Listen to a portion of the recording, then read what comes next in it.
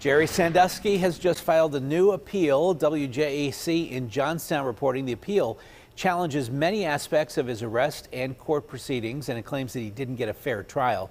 In 2012, Sandusky was found guilty of sexually abusing 10 boys. He's currently serving a 30 year prison term.